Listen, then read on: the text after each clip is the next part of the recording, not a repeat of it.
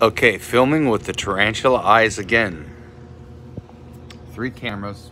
Is there a way to use all three of these cameras somehow to make this better video quality? Gosh, can't get over the size of those lenses. They're huge.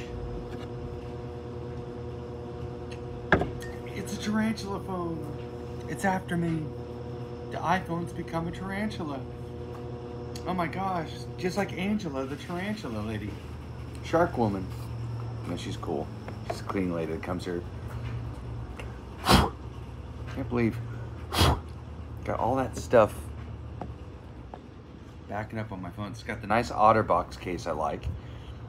I was gonna get something to cover up those cameras, but I like the lens lenses exposed like that. At least this back plate covers them up good enough. And this is nice because kind of acts as a protecting a sheer guard for it. Well, I don't want to have any more harassment. I'm uploading a video. I can't get over the size of those lenses. They're actually bigger, I heard, than the iPhone 11.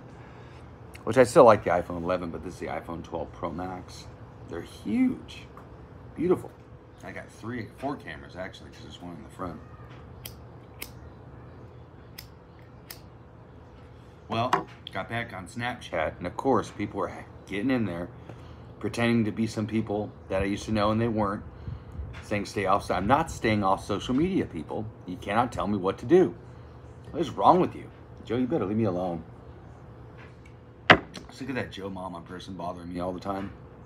The tarantula phone. Don't mess with me in the tarantula phone. Phone might even have fangs. You never know. It's got three eyes, three cameras in the back, four. Tarantula eyes. Can't get over the reality of it. This phone in life is so awesome. Wow. Got something else in there. I'm not sure what that is. And then, of course, the flashlight. And some other little dilly bob. But anyway, I want to learn how to use this in best way it can work. You know, it is already good filming quality. I see, I don't know if that's through all the cameras or not. It's two minute video. But anyway, if you like, please subscribe. Leave a like comment, whatever, or a dislike or a bad comment. I don't care. Uh, click the little bell for notifications and share and share. And thanks for watching. See you in the next vid. Try to cover it up.